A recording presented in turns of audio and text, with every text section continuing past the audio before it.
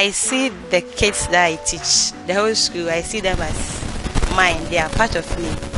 My students are my classmates. We love ourselves. There is a saying that brighten the corner where you are. Well, today our lenses have caught a teacher who is brightening the little corner where she is, and YEN News has traveled all the way to Kumasi in Ejisu, the Ashanti region of Ghana, to interact with Naomi Awomeh, a teacher who is brightening the corner where she is. Before we bring you the conversation with her, remember to subscribe to our YouTube channel and follow us on all social media platforms. Also, if there is any peculiar story we could cover, feel free to write to us. My name is Philip Abutiati. This is Faces of Ghana on YEN TV.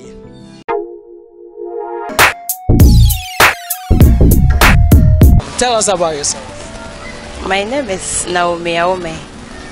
I'm from a family of five. I'm the fourth. I, I started um, basic school at Kodiabe.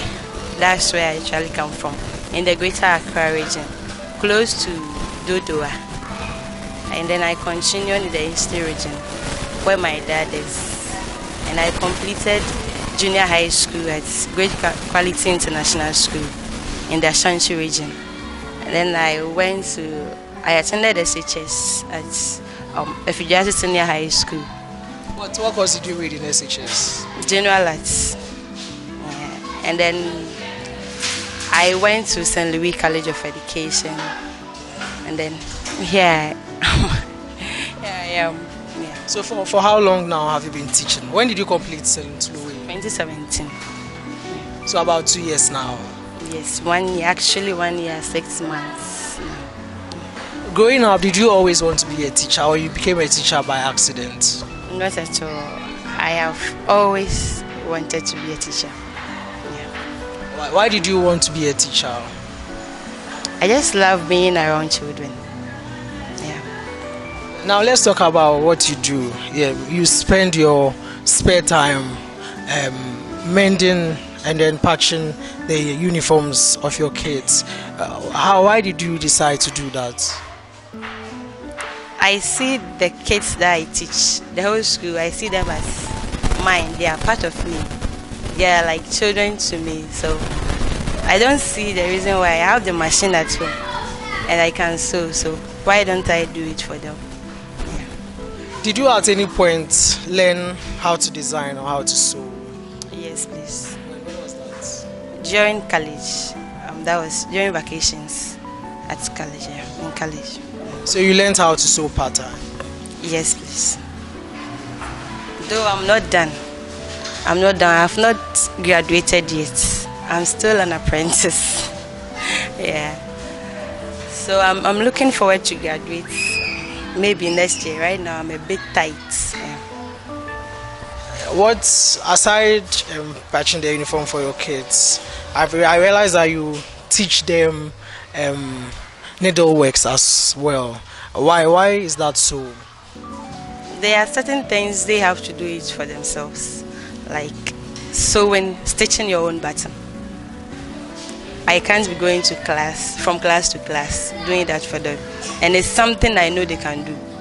So I decided to add certain things so that they will have something doing. It will be it wouldn't be like I'm always doing it for them.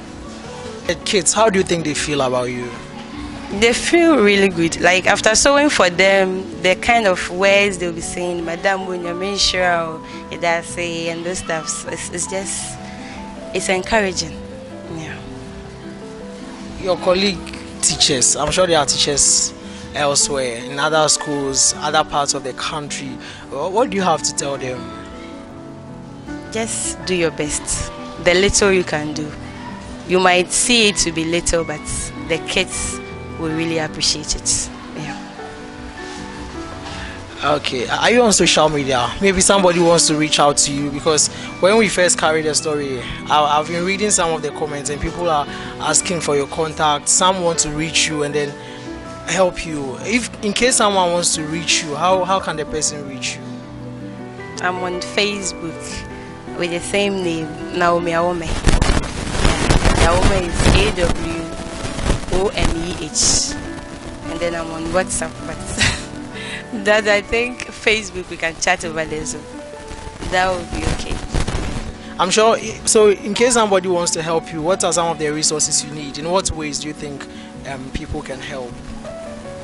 Someone, um, a colleague teacher, contacted me in a different school in a different district that they have similar problem in those areas. She wish she could help the kids, but she doesn't know how to sew.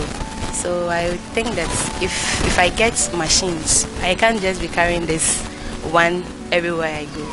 I told her that I will arrange with her so that she gather the torn uniforms, maybe on Friday.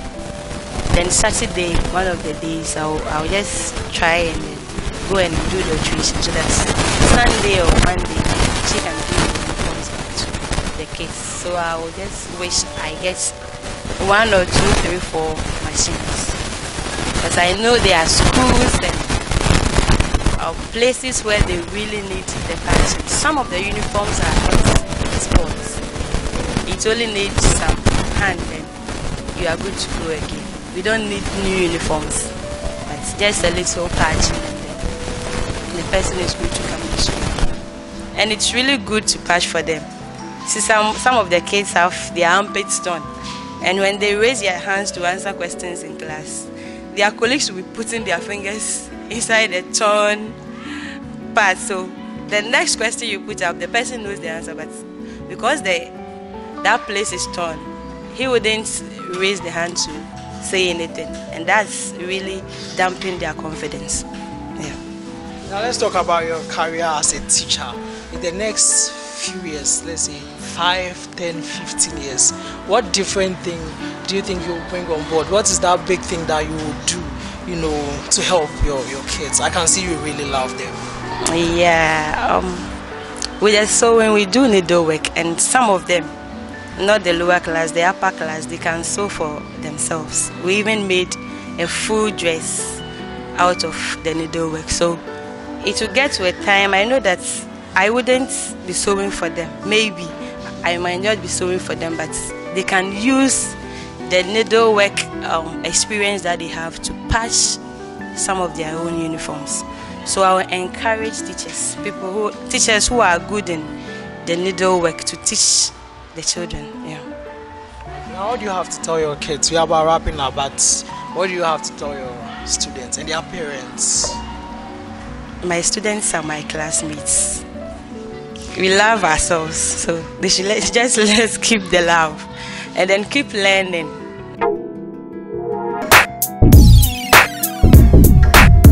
Right, so this has been Faces of Ghana. We are here at Kubease in Ejisu to speak to Naomi Awomeh, a teacher here at the Kumasi MA Primary School who doubles as a community fashion designer and spends her leisure time sewing and patching the school uniforms of her pupils. She also, as her own initiative, teaches the children needleworks.